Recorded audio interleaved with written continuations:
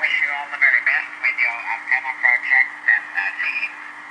Uh, I'm uh, looking forward to, to see you again. Good to see the station is. Zulu Lima 1 Alpha Charlie Echo, Papa Yankee.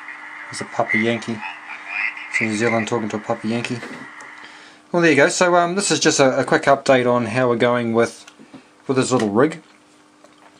Um, the configuration at the moment is the RF is coming in here through a, uh, a 20 meter bandpass filter and then into a, uh, an RF amplifier. It's a um, Cascode J310 arrangement, so the two J310s there uh, with a little variable pot there to adjust the, uh, the voltage on the gate. Um, that's providing measured around 21 dB gain, uh, which is then feeding through the impedance matching into um, the NE612. Um, 2E2612, so this NE612 um, has got RF coming in through here and its VFO uh, input is coming from the uh, SI5351 which has been controlled from uh, the microcontroller here. Um, the spec sheet says that this needs to have between 200 and 300 millivolts peak to peak uh, VFO drive uh, and that will pot adjust that there. So it's currently set for 250 uh, millivolts the output of that is then feeding through another impedance matching there through the uh, crystal filter. That's an old XF92A um, SSB uh, crystal filter. The output of which again through impedance matching into the input of the second NE612. Uh, its uh, BFO is coming from again the uh, clock 2 of the SI5351 again through the little trim pot there to adjust the amplitude. The output of which is audio um, through the coupling uh, 10 microfarad uh, electrolytic there and then through to the audio amplifier via a small audio um, low pass filter there before going into the amplifier. In the bush I'll shrink this right down because um, I'll be running this on uh, headphones uh, rather than having on a speaker. Right, so um, according to the spec sheet, uh, these little NE612s will be outputting about 13 um, dB gain uh, when running at uh, 7 volts and that's what this uh, LM317 uh, voltage regulator here is doing, adjustable so that's taking 12 volts dropping it down to 7 which is driving just these two uh, NE612s. This one over here is a um, 7805 so it's outputting 5 volts which is providing the VCC for the, uh, the SI5351 and uh, the screen and the microcontroller. Um, Right, so like I say, yeah, about 13 um, dB gain through these according to the spec sheet. And quite interesting enough, at the moment, this is quite an effective receiver with um, no external um, IF amplifiers. So just the RF amplifier coming in, the internal gain of those two mixers, and then into the, the audio amplifier. So it's got some gain there, obviously.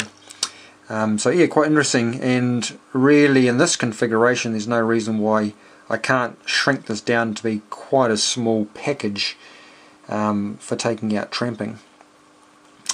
Um, I think next steps will just to, uh, I probably won't do much more on the receiver at this stage and I might sort of just uh, launch into playing around with a bit of transmit. So um, through, now these NE612s um, have two inputs and two outputs. So the second input which is currently um, earthed out through this 100 nanofarad capacitor um, I'll remove that and then that'll become um, will become a microphone input from the mic amp. Uh, and the output then um, this crystal filter both both sides will go into a small uh, bistable um, little relay um, to switch between um, output 1 or the input depending on the out, on the configuration of this. So on transmit or receive and same on the other side.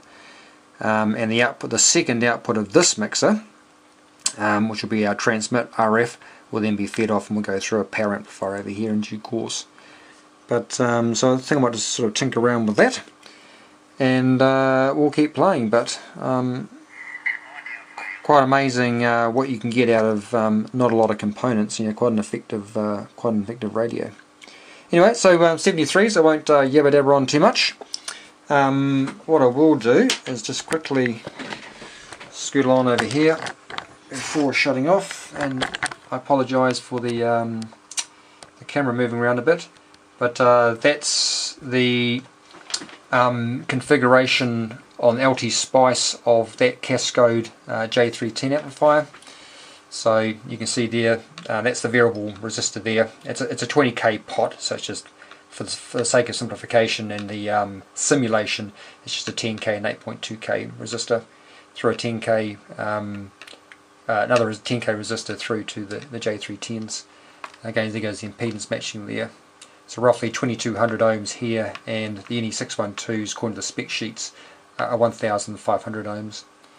So uh, that's just a, a, quick rundown of the um, of that um, RF amplifier. The uh, the code itself um, for this um, I can put up if people want it. Um, it's very similar to what was used on the um, the bass rig I did uh, a little while ago. It's essentially the, a similar setup using the same crystal filter so that the settings for the the BFO and the VFO um, are, are, very similar. So anyway, I'll, um, I'll finish there, 73s, and uh, I shall keep you posted as we continue. Thanks.